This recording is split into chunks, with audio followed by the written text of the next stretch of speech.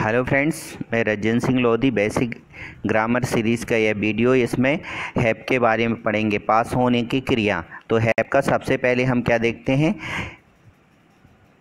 Present form देखते हैं। हैप की प्रेजेंट फॉर्म, क्योंकि इसमें प्रेजेंट हैप का जो यूज़ होता है, प्रेजेंट में होता है, पास्ट में होता है और फ्यूचर में होता है। तो सबसे पहले हम प्रेजेंट देखेंगे, है ना?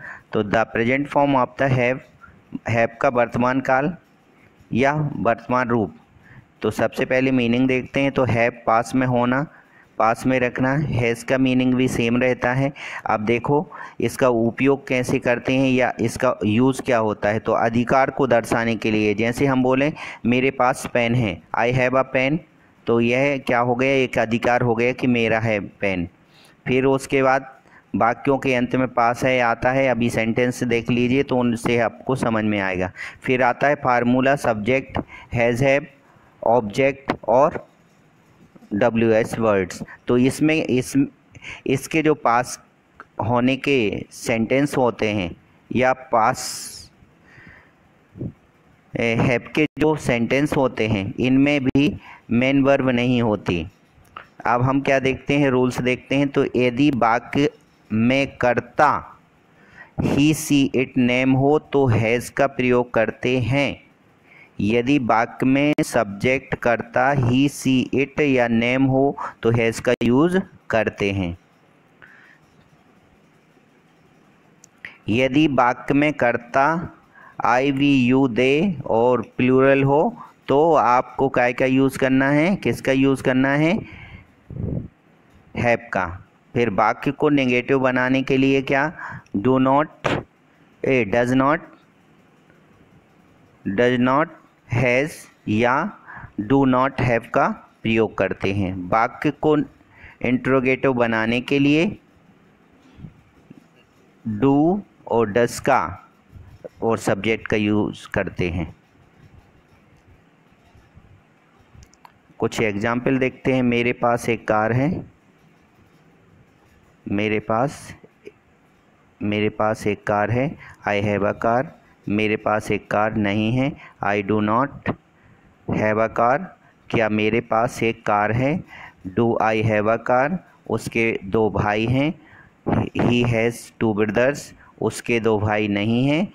He does not has two brother क्या उसके पास दो भाई हैं?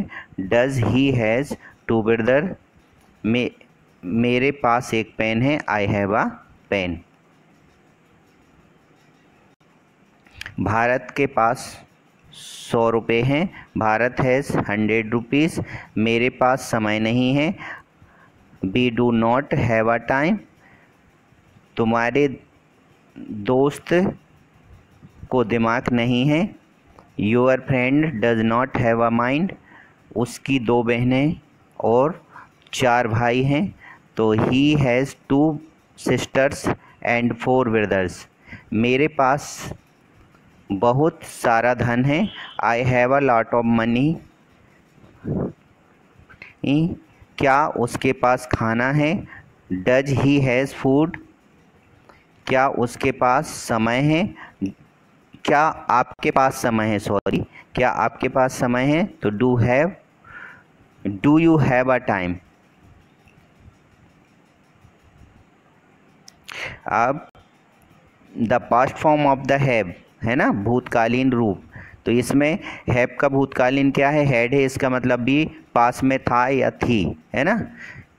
उपयोग संबंध और वस्तुओं पर स्वामित्व दर्शाने के लिए किया जाता है। वही सेम है है ना? अधिकार दर्शाने के लिए। वाक्यों में अंत में पास था रहेगा। उसमें हा था तो इसमें था था था हो जाएगा।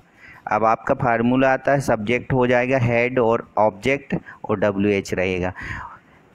प्रेजेंट का जो हमने हैव पढ़ा है, उसमें हैज़ हैव का यूज़ हुआ है और पास्ट पढ़ रहे तो इसमें हेड का यूज़ हुआ।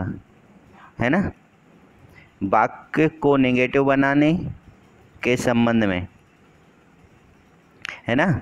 तो वाक्य को नेगेटिव यदि हमें बनाना है तो उसमें डिड नॉट प्लस हैव का उपयोग करते हैं। वाक्य को इंट्रोगेटिव बनाने के लिए डिड आगे आ जाएगा सब्जेक्ट हो जाएगा और है, है, हैव हैज़ रहेगा ओके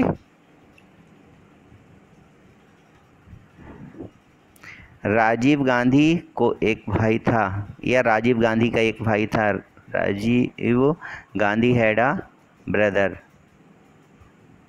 राजीव गांधी को राजीव गांधी की बहन नहीं थी Rajiv Gandhi did not have a sister यहाँ हैज़ का यूज़ कर सकते हैं हम। डिड क्या राजीव गांधी के चाचा थे या को चाचा चाचा थे? तो did Rajiv Gandhi has a uncle हमारे पास एक अच्छा घर था। We had a good home मेरे पास एक अच्छा घर नहीं था। We do not have a home क्या हमारे पास एक अच्छा घर था? Did we have a good home उनके पास सौ गायें और पचास बकरी थी।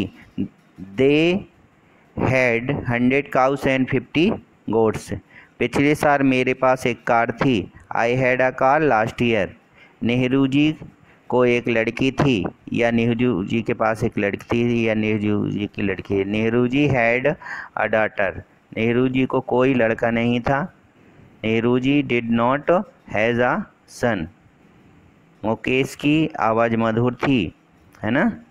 तो मुकेश हैड स्वीट वाइस उसके पास बहुत सारी किताबें थी। He had a lot of book हमारे पास राजनीतिक शक्ति थी। वी हैड पॉलिटिकल पावर क्या तुम्हारे पास अकल थी? क्या तुम्हारे पास अकल थी? Did you have a mind अब देखते हैं हम the future tense of have have का जो फ्यूचर रूप है, उसके बारे में देखते हैं। बिल हैव का यूज़ होगा इसमें, है ना? किसका होगा? बिल हैव सेल का होगा। अब I we you I we के साथ में आपका सेल से, सेल हैव का यूज़ होगा बाकी सबके साथ बिल हैव का यूज़ होगा है ना? इसमें भी वही आएगा आपका संबंध और वस्तुओं का स्वामत्व दर्शाने के लिए वाक्यों के अंत में पास होगा होगी रहेगा। इसमें का फार्मूला है सब्जेक्ट बिल सेल हैव है ना? बिल हैव या सेल हैव का और ऑब्जेक्ट का और अन अदर वर्ड हो सकते हैं। वाक्य को नेगेटिव बनाने के लिए हम क्या करें? बिल नॉट हैव और सेल नॉट हैव का प्रयोग करते हैं। वाक्य को इंट्रोगेटिव बनाने के लिए बिल सेल आगे हो जाएगा, फिर सब्जेक्ट और हैव हो जाएगा, है ना? तो इस सीक्वेंस के आधार पे हमें क्या करना है? सेंटेंस बनाने हैं। कल मेरे पास पचास रुपये होंगे।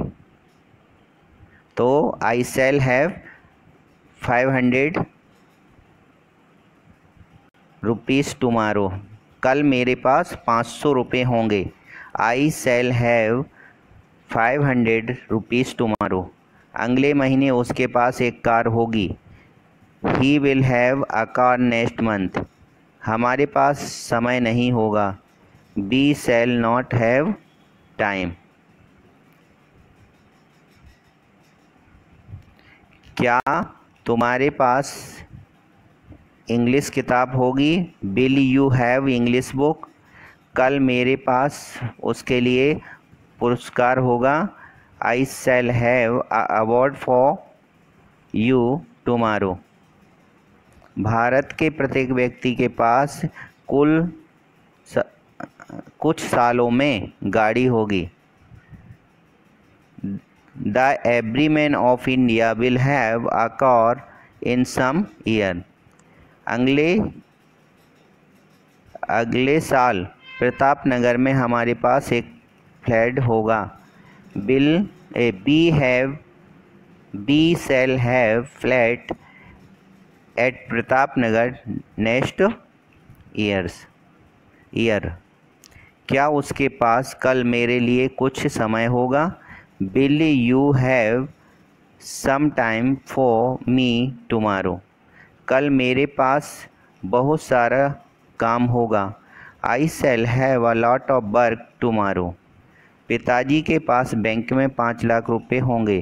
Father will have five lakh rupees in bank homework देखिए।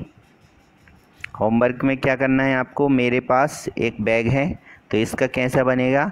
आई हैव आ बैग हमारे पास एक कंप्यूटर है। We have we have a computer उसके पास पेन नहीं है। ही हैज़ नो पेन या he does not has pen क्या उसके पास घड़ी है? है ना? तो क्या हो जाएगा? घड़ी है। तो do do you do you have a watch, है ना? क्या पिताजी के पास एक बाइक है? बाइक है। क्या पिताजी के पास? तो आगे क्या आ जाएगा? Does father has a bike. मेरी बहन के पास एक नौकरी थी, है ना? तो आप बनाइए इसको। My sister had a job उसके पिताजी के पास एक साला थी। क्या है? साला थी। साल। ये साला नहीं है, साल है है ना? ओके तो इसका ध्यान रखना है। उसके पिताजी के पास एक साल थी, साल, है ना? तो his his father had a sole हमारी एक बहन थी, है ना? थी। तो क्या हो जाएगा? We had a sister nine मेरे चाचा को, मेरे चाचा को, नहीं थे। है ना? ये सेंटेंस जो है, ये रॉन्ग है, इसको छोड़ दीजिए। क्या उस, उसको पिताजी थे, है ना? ठीक? भविष्य में मेरे पास एक बंगला होगा, ये देखिए। भविष्य में भविष्य में मेरे पास एक बंगला होगा, भविष्य में। तो मेरे पास है ना, होगा, फ्यूचर है है ना? तो इसको आपको पहचानना फ्यूचर है तो कैसे होगा? मेरे पास I shall have a bungalow in future है ना? सरकार के पास धन नहीं होगा, सरकार के पास, है ना? तो government will have government will not have money है ना? Government will not have money हमारे पास यह किताब नहीं होगी। हमारे पास we we shall not have a not have this book है ना? ये आपका होमवर्क और आप इन्हीं सेंटेंस के साथ में और प्रैक्टिस करिए, है ना? और ये वीडियो एंड होता है, बार बार इसको आप रिपीट कर सकते देख सकते हैं। यदि आपको समझ